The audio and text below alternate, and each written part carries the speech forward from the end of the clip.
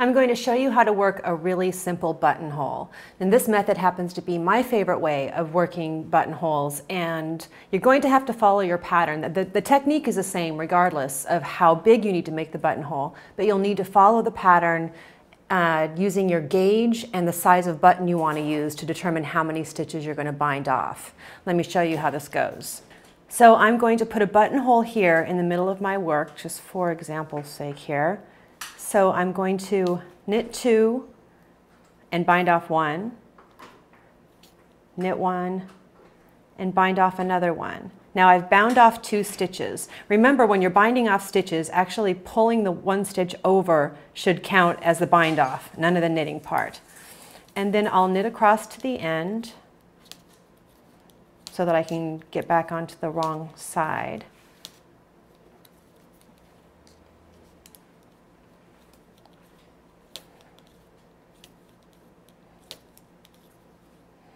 Okay. Now the second row of the buttonhole is the final row. Oops. My needles are clacking against the table. I'm going to work up, in this case I'm purling, work up to the gap where I bound off those two stitches. Here I am big gap here.